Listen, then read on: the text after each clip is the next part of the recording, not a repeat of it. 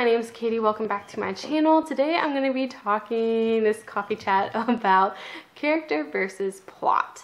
If you haven't seen my videos for Wired for Story and Story Genius, I encourage you to do this before you watch this chat, but you can definitely just chat about it anyways. So to sum up those two books though, they are very heavy character driven. They say your story is your protag story, not any of the external plot. And that got me thinking, because the there's the question of like, why do you read a story?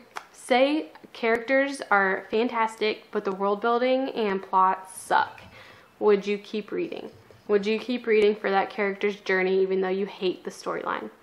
Flip side of that, if the characters are bland as peas and the world building and plot line is incredible and it's like an adventure or a thriller or whatever, would you read it to find out what happens even though you could care less about the characters? Obviously, we would want both at the same time. I took a poll on Instagram and definitely forgot to check it in time and I don't know if they told me the actual outcome after the fact, like I didn't see it. So this was like some hours left to go, but I asked, what do you come up with first, plot or main character? And 72% said main character, 28% plot. I don't know, it might have gotten more skewed after a few hours, but I took it to Twitter. I said, I'm doing a couple of experiments. Which comes first to you when you think of story, and which do you develop first? So Twitter thankfully gave me the third option. So I put plot, character, and then both slash depends because that's me. So I got plot 26%, character 35%. Both slash depends 39%. What? Okay, so that right there blows Wired for Story and Story Genius out of the water. Now, those people who didn't vote character might not know about these books.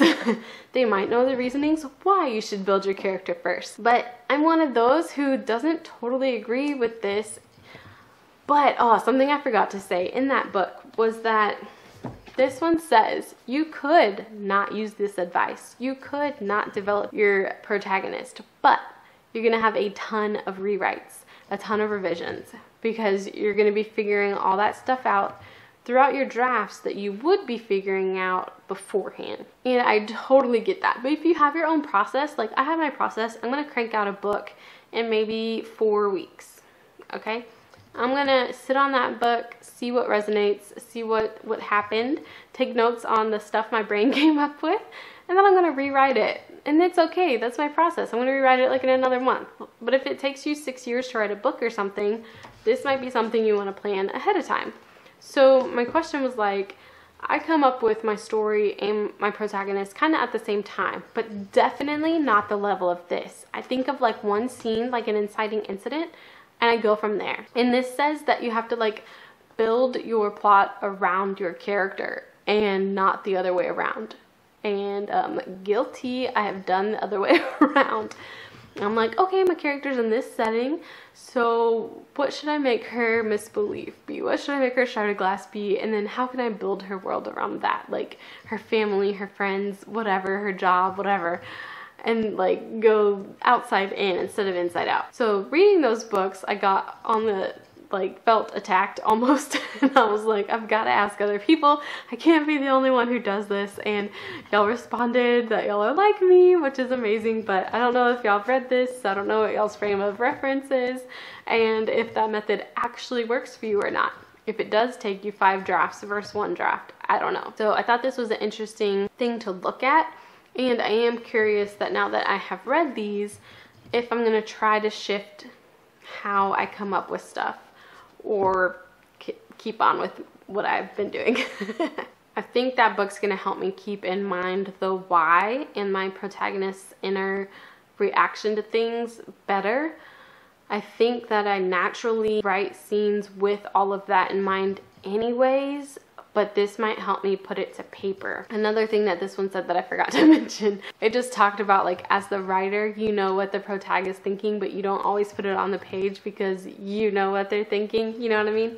So you have to like actively work to put it on the page. But yeah, I just wanted to have a little discussion on here about that if you think that building your character fully fleshed out, knowing their misbelief and how it affects each scene, like plotting each scene and how it affects your protagonists up front. Are you for that?